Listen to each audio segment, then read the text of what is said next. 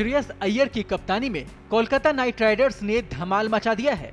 उसने Indian premiere league 2024 का final मुकाबला अपने नाम कर लिया है और तीसरा खिताब जीत लिया है। ये मैच रविवार 26 मई को चेन्नई के चैपाक स्टेडियम में खेला गया था, जो कि एक तरफा रहा।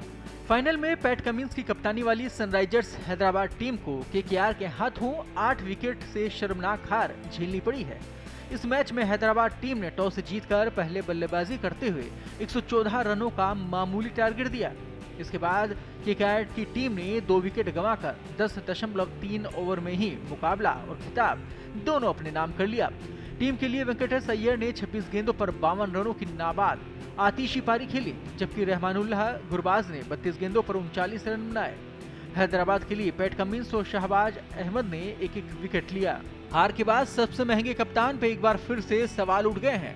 इस मैच में हैदराबाद टीम के कप्तान पैट कमिंस शुरुआत से ही गलत फैसले लेते हुए नज़र आए। हैदराबाद फ्रेंचाइजी ने कमिंस को नीलामी में 20 करोड़ से ज़्यादा की कीमत पर बोली लगाकर खरीदा था। कमिंस अब तक के सबसे महँगे कप्तान हैं। 20 करोड़ी कप्तान फाइनल में चौकर्स नज़र आए। मैच में कमिंस ने टॉस जीता था। इसके बाद उन्होंने पहले बल्लेबाजी का फैसला लिया, जो कि गलत साबित हो गया। जबकि टॉस के बाद केकेआर के कप्तान श्रेयस अय्यर ने कहा था कि यदि वो टॉस जीतते तो पहले गेंदबाजी का फैसला करते, क्योंकि पहली पारी में पिच गेंदबाजी के लिए अच्छी थी। जबकि कमिंस पिच को सही ढंग से पढ़ ही ना सके और पहले बल्लेबाजी का फैसला करके खुद के पैरों पर कुल्हाड़ी मार दी।